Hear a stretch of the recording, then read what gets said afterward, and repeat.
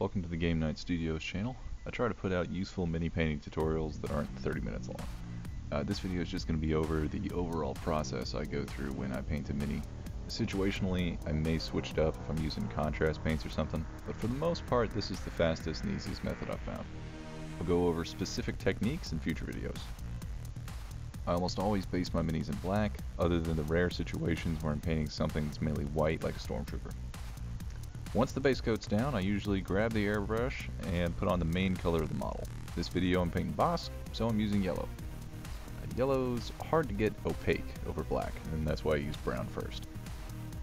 If you're able to use an airbrush, I highly recommend it. The smoothness of the shading is just unbeatable. Once the main color of the model is on there, grab a smaller brush and hit all the other colors in the mini. Notice other than yellow, I haven't shaded anything yet.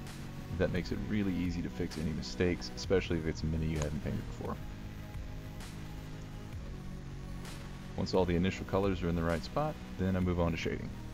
Highlight the different colors on the model with whichever method you prefer.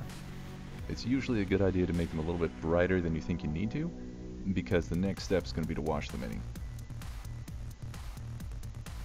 Washing with a dark color over the highlights adds some really nice dark shading to the recesses of the mini.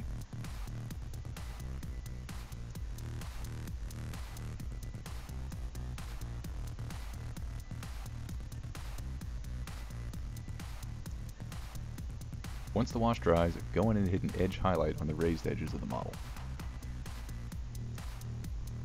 The wash added the dark and the edge highlighting and pre-shading added the bright, so you'll end up with some beautiful contrast.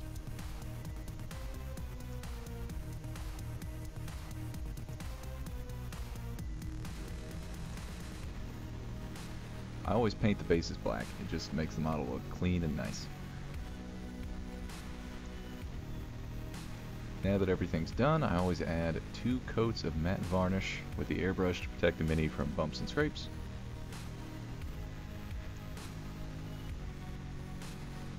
And that's the video. Uh, I hope you liked it. Be sure to like, follow, and subscribe. Here are a few links if you're interested in seeing more from me. Uh, there is an eBay store link if you're interested in picking up some minis I've painted. I do also sell tabletop terrain. Thanks for coming out. I hope you enjoyed it. Please let me know in the comments if there's any specific techniques or videos that you'd like to see. I'd be happy to come up with something for you guys.